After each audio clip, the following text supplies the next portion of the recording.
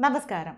ആഗോള സമാധാന സൂചികയിൽ ഐസ്ലൻഡ് വീണ്ടും ഒന്നാം സ്ഥാനത്തെത്തിയിരിക്കുകയാണ്. ലോകരാജ്യങ്ങളിലെ സമാധാന തോത് വിലയിരുത്തുന്ന ഏജൻസിയായ institute of economics and peace പ്രസിദ്ധീകരിച്ച ഗ്ലോബൽ പീസ് ഇൻഡെക്സിന്റെ ഏറ്റവും പുതിയ റിപ്പോർട്ടിനനുസരിച്ച് ആഗോളതലത്തിൽ സമാധാനത്തിന്റെ തോതിൽ നേരിയ കുറവ് രേഖപ്പെടുത്തിയിട്ടുണ്ട്.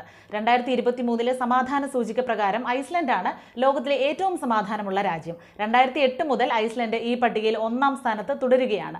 ലോകത്താകമാനമുള്ള നൂറ്റി അറുപത്തിമൂന്ന് രാജ്യങ്ങളെ ഉൾക്കൊള്ളിച്ചാണ് ഈ പട്ടിക തയ്യാറാക്കിയിരിക്കുന്നത്. രാജ്യത്തെ സാമൂഹിക സുരക്ഷയും സുരക്ഷിതത്വവും ആഭ്യന്തരവും അന്തർദേശീയവുമായ സംഘർഷങ്ങൾ സൈനികവൽക്കരണം എന്നീ മാനദണ്ഡങ്ങളുടെ അടിസ്ഥാനത്തിലാണ് ഈ പട്ടിക തയ്യാറാക്കിയിരിക്കുന്നത്.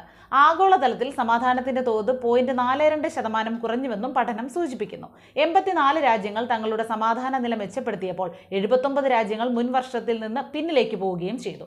ഡെൻമാർക്കാണ് ഐസ്ലൻഡിന് തൊട്ടുപിന്നിൽ അയർലൻഡ് ന്യൂസിലൻഡ് ഓസ്ട്രിയ എന്നിവയാണ് തൊട്ടടുത്ത സ്ഥാനങ്ങളിൽ ഉള്ളത് അഫ്ഗാനിസ്ഥാനാണ് സമാധാന സൂചികയിൽ ഏറ്റവും പുറകിൽ. തുടർച്ചയായി എട്ടാം വർഷമാണ് അഫ്ഗാനിസ്ഥാൻ ഈ സ്ഥാനത്ത് തുടരുന്നത്.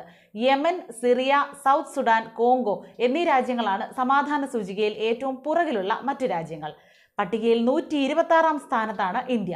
മുൻവർഷത്തേതിൽ നിന്ന് രണ്ട് പോയിന്റ് മെച്ചപ്പെടുത്തിയാണ് ഇന്ത്യ നൂറ്റി ഇരുപത്തി ആറാമത് എത്തിയിരിക്കുന്നത്. രാജ്യത്തെ ആഭ്യന്തര സമാധാനത്തിന്റെ തോതിൽ മൂന്ന് പോയിന്റ് അഞ്ച് ശതമാനം മെച്ചപ്പെടുത്തിയെന്നാണ് പഠനത്തിൽ പറയുന്നത്. അയൽ രാജ്യങ്ങളുമായുള്ള ബന്ധം മെച്ചപ്പെട്ടതും സംഘർഷങ്ങൾ ഉണ്ടാവാത്തതുമാണ് ഇന്ത്യയുടെ സ്ഥാനം മെച്ചപ്പെടാനുണ്ടായ കാരണങ്ങൾ. പട്ടികയിൽ നേപ്പാൾ ചൈന ശ്രീലങ്ക അമേരിക്ക പാകിസ്ഥാൻ എന്നീ രാജ്യങ്ങൾ യഥാക്രമം എഴുപത്തൊൻപത് എൺപത് നൂറ്റിയേഴ് നൂറ്റി മുപ്പത്തൊന്ന് നൂറ്റി നാൽപ്പത്തി ആറ് എന്നീ സ്ഥാനങ്ങളിലാണ്. Singapore Portugal Slovenia Japan Switzerland എന്നിവയാണ് പട്ടികയിൽ ആദ്യ പത്തിലുള്ള മറ്റ് രാജ്യങ്ങൾ.